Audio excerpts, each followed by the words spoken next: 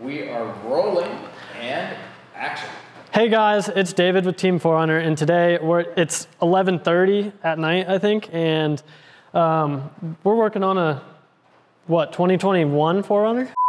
Hey guys, it's David with Team 4Runner, and we're and today we're going to install a set of crossbars, Yakima crossbars on this 4Runner behind me, Yakima crossbars and mounts. and mounts. You're recording. It's easier if you're vlog style doing it, and it's I'm just my normal self and not. Hey guys, I'm David with Team 4Runner, and today we're going to install some Yakima crossbars on this 4Runner behind me. Let's go. And, uh, I don't even know.